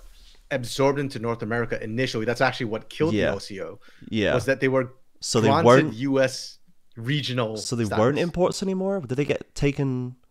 So like OS Yeah, players so they, aren't okay. they weren't don't imports. take an import. Okay. Yeah, and then I think they've changed it now that OS players had to declare whether they were playing in the yeah, PCS or uh, APAC region Yeah. or US, and you get yeah. one one chance to make that call. And now, Yeah. if you're coming in from That's the APAC crazy. region, you're an import. If if you decided to be US or NA, then you're not an import. So that's why we, we've got quite a few like um uh, OS players, like uh, Surdy, of course, the one who's like making. Yeah. who's quite famous He's right now, one. is like the best Yeah, top laner, rank not one, one, right? in LCS. Yeah. Yeah, yeah. Like he, he's not considered an import. He's Yeah. domestic. So, uh, initial thoughts, Soph, on the Americas Challengers, conceptually, Um, format wise, how are you feeling well- about it? Yeah, conceptually, uh, there's nothing bad about having the two regions competing together. It always going to help with understanding other strategies and trying to learn how to get even closer to potentially getting allocated as tier one. But for the actual format, I agree with you both. Like best of ones are not ishy. They don't really get you anywhere in regards to seeding, in regards to understanding where the teams are sitting at the moment. And if it was at least a best of three, that would have been.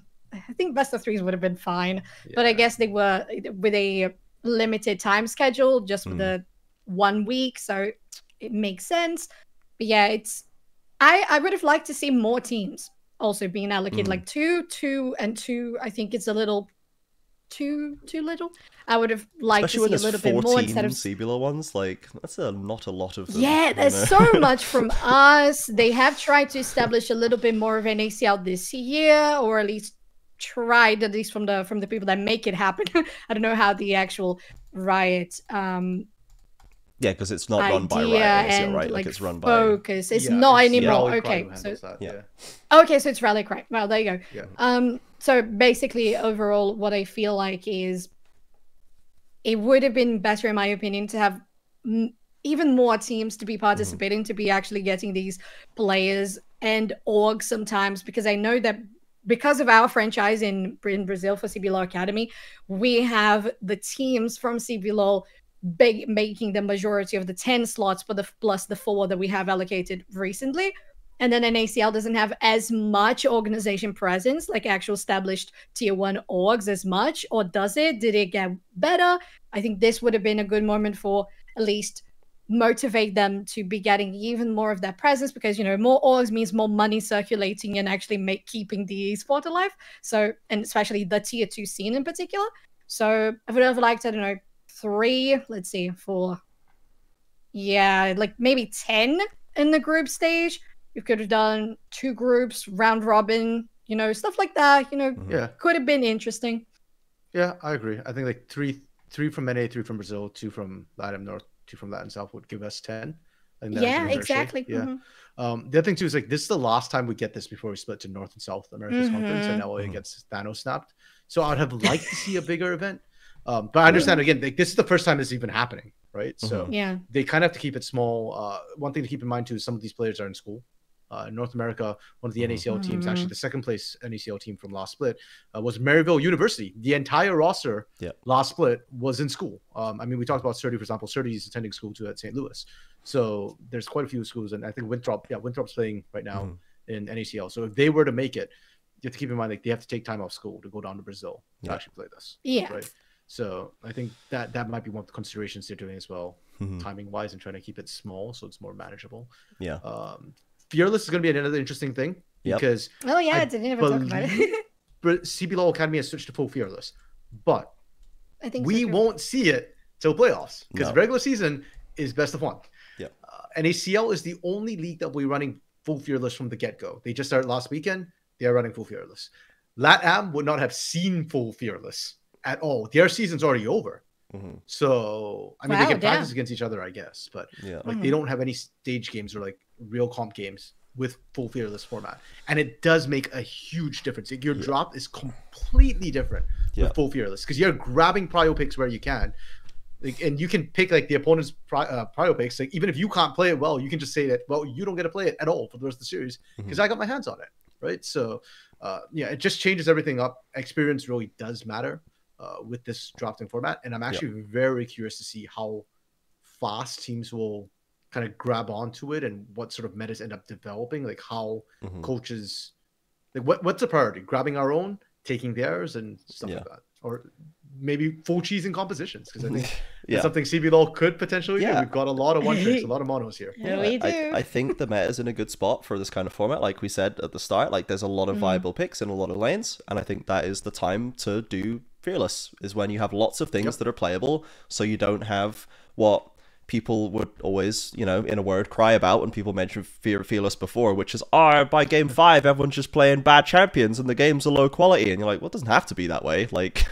It's one, I don't believe it would ever be that way, where the games would actually become so bad Yeah. they're unwatchable or something. I think if you actually think that Yeah, way, silly. you need to calm down. It's a video game that you're watching for free. But like like you know, so I think that the meta even so, I don't think it would be a problem anyway.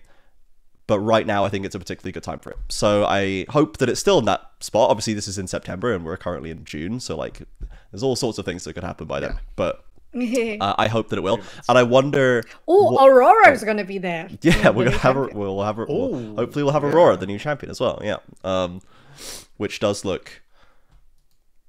I mean, certainly interesting for to a lot of people for a lot of reasons. We can say this much, but I think the champion does look quite interesting. Um, and I like the the the emphasis on like uh maneuverability and uh like dodging basically while having fairly simple damage abilities and being billed as a mage. So generally, I imagine being quite squishy, but probably the kind of mage that gets nashes, right? If you're trying to like stick near them and dodge and dive around them, like you can potentially go for like a more, um, like a DPS long term fight kind of vibe, especially with the ultimate where you're trying to like trap them in an arena for a long time and dash around them. So I think it's a cool idea for sure. Um, and yes, we'll see if, if Fearless manages to, to bring us out a good competition here.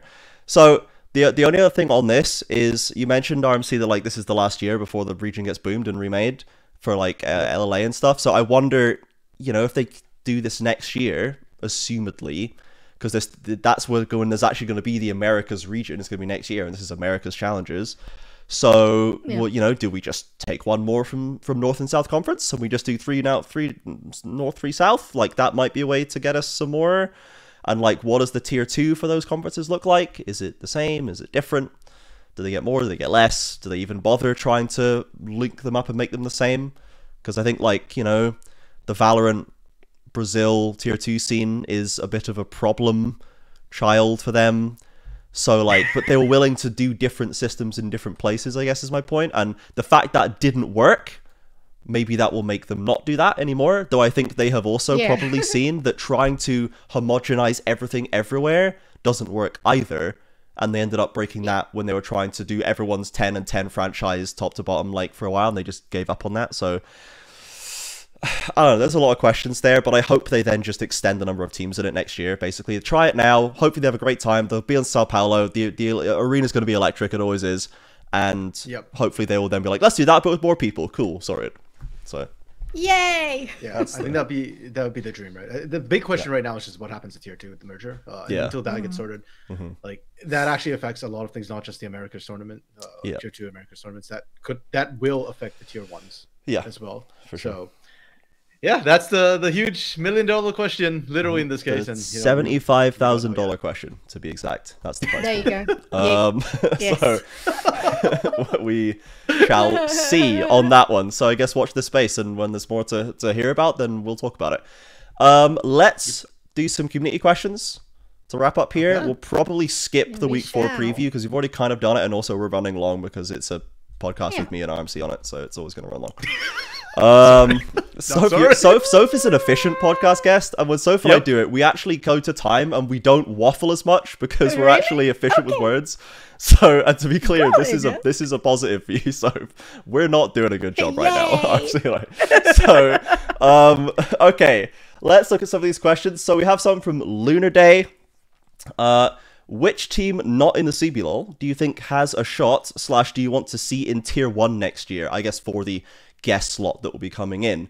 And then he offers us mm-hmm. the chance to build an academy roster that we would trust, in his words, with the guest slot. So, first, from the academy side, RMC, you're probably best positioned. So you have the widest knowledge of these. Which of these teams do you think we're likely to see in that slot next year? Assuming that some of them maybe get nuked when the system changes, or like their main Okay. CBLOL team gets nuked and then the academy goes and all this stuff. So assuming that like you can just grab a team wholesale because these, a lot of these are Yeah. franchise teams, right? yeah, we'll do wholesale first. Yeah, just like five players. Yeah. Then Yeah. I think the two teams which are most likely is probably Pain Gaming Academy and VKS Academy. Uh, Hmm. Pain Gaming Academy, they're just one last split. They're currently leading in the regular season. Mm-hmm. Um, they look generally pretty solid. I mean, Yups is from that roster, right? Yeah. Um, and Yups wasn't even the primary carry on that roster. So, Mm-hmm. uh, yeah, I think Pain Academy has quite a few people ready to move up. Uh, Keyd Stars Academy would be the other one because I think two things. First of all, even prior to Coach Seal, uh, actually, no, Coach Seal, he already made the academy roster with a lot of talent. Like he he managed to acquire Morttheus and Tellus, which is probably Mhm. one of the best bot lanes. I don't know if they're number one right now, Mm. um, but generally speaking, they have been one of the top bot lanes. They have an import on that academy roster. They imported Kisei from LCO Oh, there we go. like, from like and actually into academy. It's not like the lonely import Yeah. where lonely got imported to KaBuM and then got dropped to academy. Yeah. No, no, Kisei was like, Uh-huh. flat out just acquired for that. Um, they have Tyrion, who's like one of the probably two best top laners right now um, Mhm. in academy. So, yeah, I think Keyd Stars Academy, Pain Academy will be the 2 Mhm. uh, if we are if we are allowed to pick like a franchise roster. Yeah. Mhm. sure. Uh, I mean that Is sounds Takui fine. still the VKS Academy? Yeah, Pardon? Is uh, Takui still on the VKS Academy roster? No. he's on Uh, IDL. He- He's on loan to Yeah. IDL, right? Oh, I- yeah. I just- I think he's on loan. Okay. I think I think he is. I, I, we think he's on loan to to to Ilianas Um, I don't think they would have okay. sold him that quick because like he he they, he was benched for for health reasons, and I think they just wanted him an opportunity So to to like play again and get settled back in. I remember seeing something in I think like a month ago about how Takui might actually have joined IDL.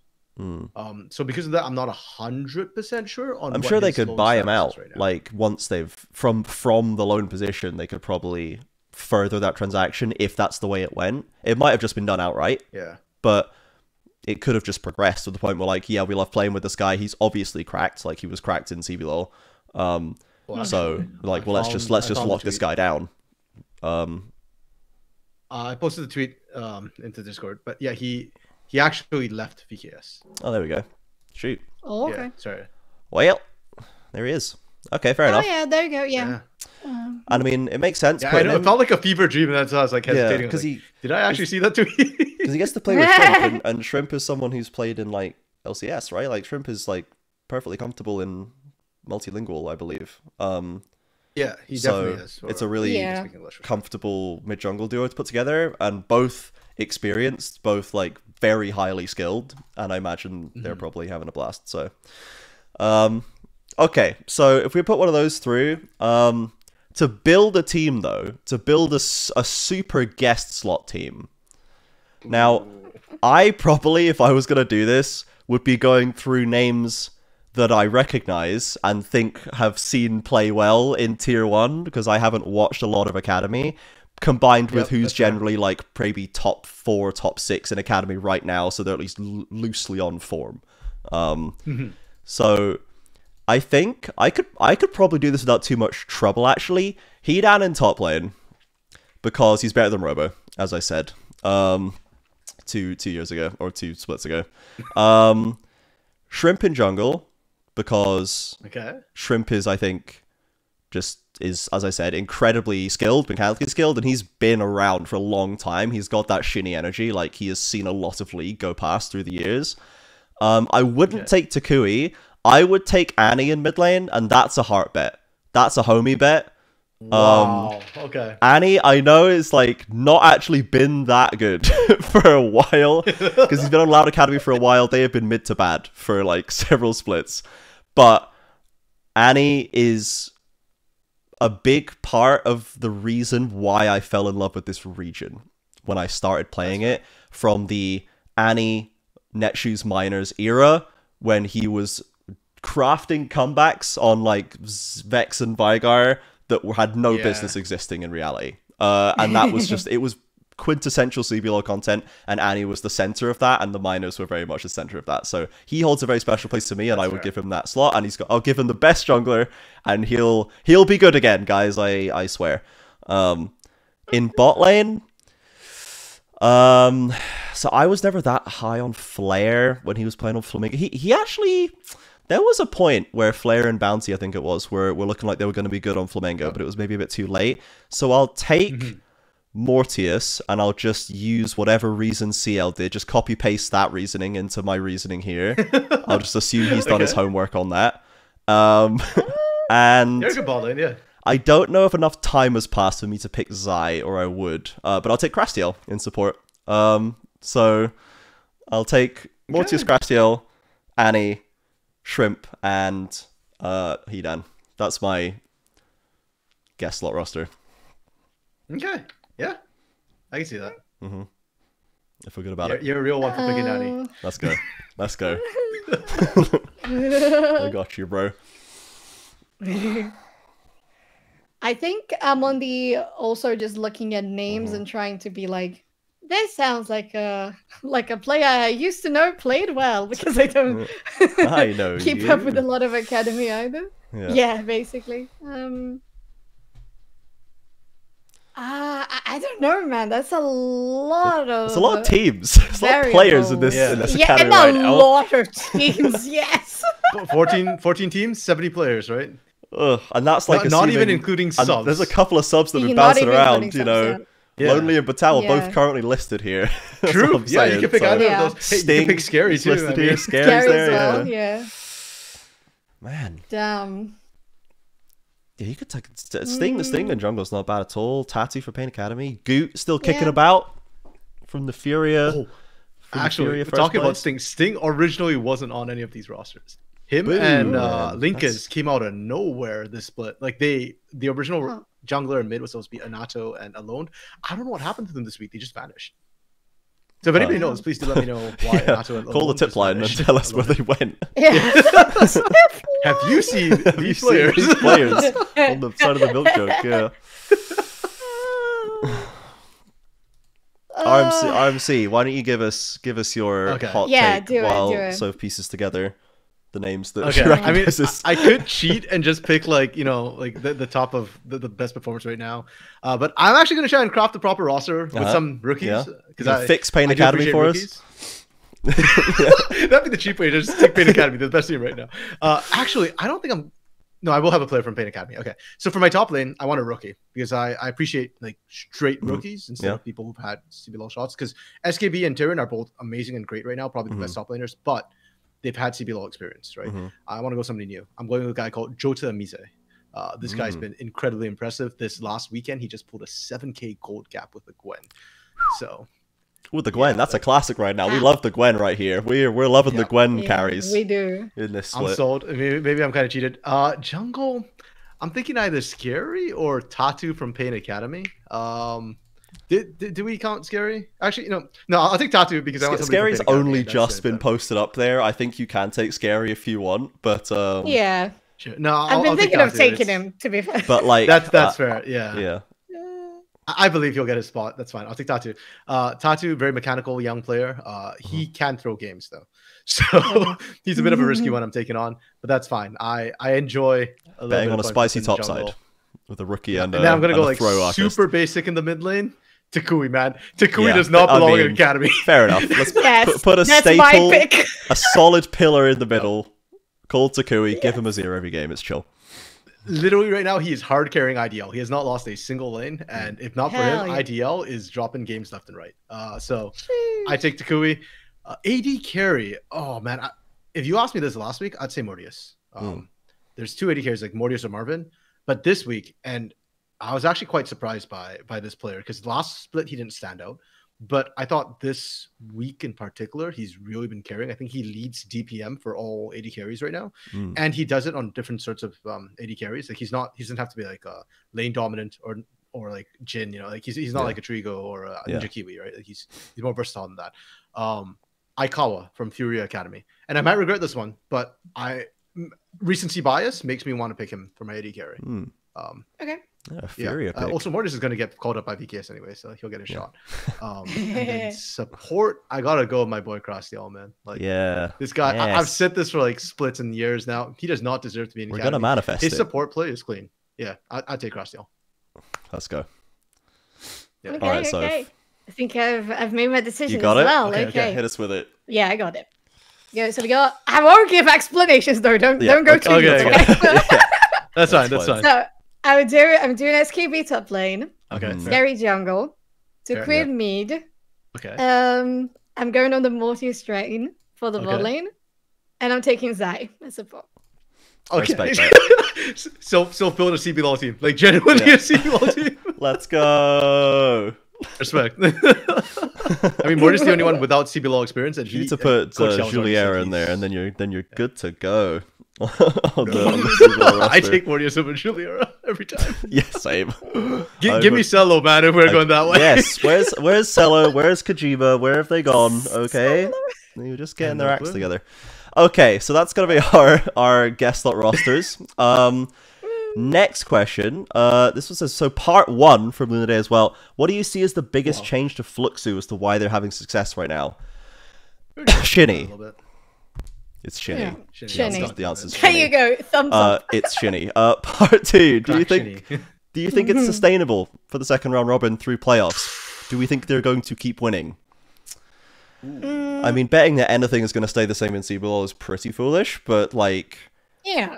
it's because I don't. It's not even like they're playing really well together, but they don't have the mechanical ceiling of other teams that are going to get their acts together and play better. Because I have a lot of faith in what I've seen out of Kiari and Fu in the solo lanes. I think they can hang Mhm. mechanically with the best. Shini, I have no problem. He's a jungler as well, doesn't matter. Um, and he just play Zin's Edge, just chill, no one cares. And then the bot lane is an interesting one because I think the meta is in a good spot for Trigo, and it's possible that Trigo could get dumped out into a bad spot at some point. Um, Yeah. and but but like as we said, the way they play shields them from that suffering. That they play around that fact very well, around the fact that Shigo should Yep. Trigo should not put in the situations, and you can just keep doing that. I don't believe the meta is going to shift to a point where Trigo is forced to honorable 1v1 Titan every game for a chance to win the finals. I don't think that's. We're not going to do that, you know? So Me neither. Trigo's beat Titan before. he has. He has. um, so I, I think that I don't see any reason to doubt Fluxo right now. Like and in terms of like success as well, I, that, they, they don't necessarily end first, But do they like Yeah. drop out of top three or four? I don't think so. Not at this rate. I don't see Yeah. any reason why they would. Mhm. Agree with Trajan 100%. I think it's sustainable. Uh, now, I don't. I think they will drop games, but Mm. I think their style is really solid. Like, it- it's not. It's not like Liberty last split when they had the seven day win streak where all of us were like, they can't keep getting away with this. Like, Yeah. That was like, insane. Fluxo legitimately can because they're not getting away with anything. This is a nine to five job. that they're Yeah. doing right now. Mm-hmm. Yeah, it's not like anybody's fault. They are doing a good Yeah. job. It, I think it is sustainable. I think it's definitely sustainable to get them through two playoffs. I don't know how Mm-hmm. Yeah. they were going to fare in playoffs because Yeah. you know being best of three, that's a whole different situation. Um, but yeah, definitely sustainable. I still think they're going to drop. At some point, they're going to drop games. There is no way they're not going to drop games that is not CBLOL at all Mhm. especially with the quality of teams that we have in the in the region. And I think that whenever we get to playoffs, is going to be a different story. Yeah. But I still think that what they have right now will get them to a solid. We know how to get at least to the first round of playoffs and try to understand how we go from there. Yeah. Yeah, I'm trying to think if any team has ever done like a a lossless regular season. I think one of the uh, I think the Exodia INTZ roster might have, but yeah, like it, it is incredibly difficult. Like I I don't think we can do that in this day and age. Not even Yeah. Loud like not No. playing Hangover. I No. think can go No. lossless. No. Uh, which team is the first to beat Fluxo? And what do we think their record's going to be and seeded to playoffs? So I, I, I Oh, just okay. like, I feel like they're, as just to throw a number out, I think they'll be like third going into playoffs with like a, like a 13 and 5 kind of thing. Um, and that, that's been enough for almost first in the past, um, in some splits, but I think it's going to be close and I think they'll have like a 13 5 and they'll be third. Um, first team to beat them. I mean, they already just played VKS. It's a lot of games before that comes around again. Um, it would probably just be. It's probably just loud. It's probably just gonna be loud to just like do some nonsense and make it work. Honestly, that would be like the most CBLOL result for me. So like, loud in second round robin, Oh, maybe. I actually have a wild take. Very hot Okay. take. Very Okay. hot take. So next week, so this weekend we got uh Fluxo INTZ. I don't think that's gonna be the game, but I think that if Red wakes up, the Red Fluxo game could be a red win. If they wake up. Ooh. Yeah. Because I think because of like the style that Fluxo has, I think Red could just break it on the knees like in the beginning of the game. If they can get that together, which we is, we, is what we usually love. There we Mhm. go. From Red, just aggressive early game, then I think that could be the first game. Yeah, Red's got that edge. Okay. I think there's just a little bit where like they could just take it. Um, I am gonna have to speed us through these last few questions because I've realized it's it's very late for me, uh, and I'm pretty sure my fiance just went to bed. So uh, we're gonna have to skip through some of these. Uh, so, do you think the failed LOS experiment is the final nail in BRTT's career or pro, or will it like the spark and he tries again next year or three shorter splits? I don't think so. I think he Yeah. taps think- out after this split. Oh. If things keep going the way they I go, think Oh, this is the final nail. if things keep going the way they go, I I don't think he sticks around. I'm I talking like I'm talking like three and fifteen record, like disaster split, which is what we're on course for.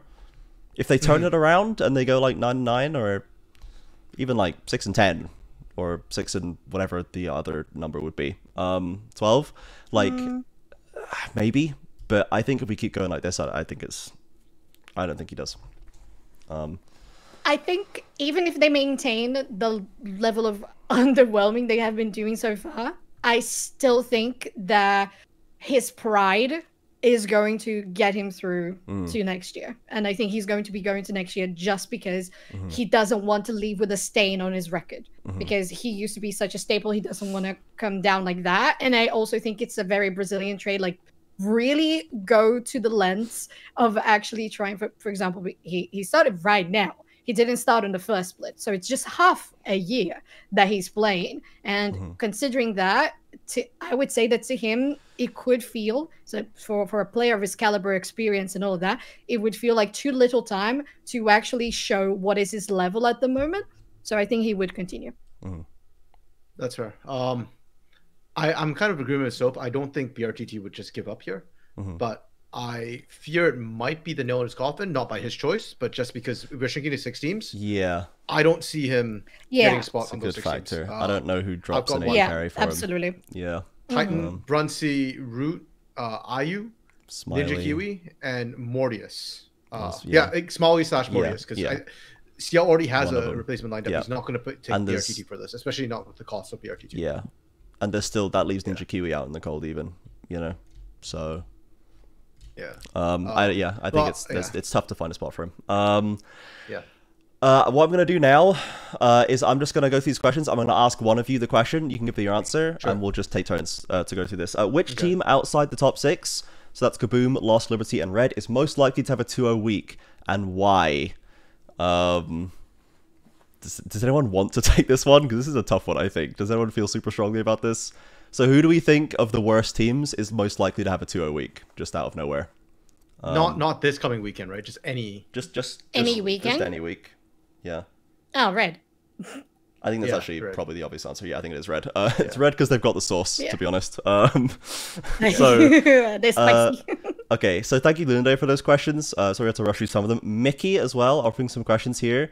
Um, what do you think about the CBLOL level in comparison to LCS? This is probably a good RMC question. Often we choke internationally. Do you agree with Revan's statement that Brazil top two can be competitive top four in LCS? Do you think this change will be positive? Remember, short and sweet answers, RMC. Let's wrap this one up. I, I heard, I heard the question. I was like, this is a not a question you minor can essay. answer quickly. Wait, so actually, no way to answer actually, do we want to maybe say because I'm looking at these questions, I think these are quite in depth. We could save them Mm-hmm. And do them proper justice. 'cause I kind of don't want to skip over them and just like not do them properly. Agree. Okay, wh- why don't Yeah, why don't I just throw a quick yes or no answer and we'll go into that Yeah, next episode. or yeah. So we'll just tee know. that Yeah, off with the sounds next good. the next one Yeah. we do. Uh, do I think CBLOL? Uh, I I I don't think we're top four in LCS. Sure. Um, yeah. Not Okay. top four. I think yeah. I think LCS has also actually gotten a pretty decent depth upgrade of the last couple of splits. We have as well, but even with the eight Yeah. teams thing, yeah, I think they've got some competitors there. for I think we're top six, but Let's go top half. Not even technically, actually. Uh, not bottom two. I Okay. think Lalcom is fifth. yeah.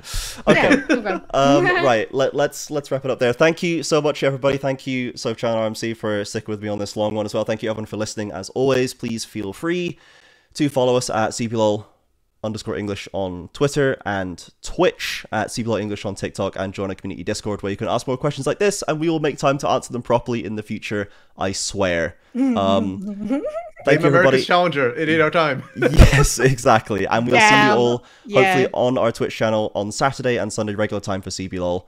Have a good rest of your day. Good night. I'm going to bed. Bye bye.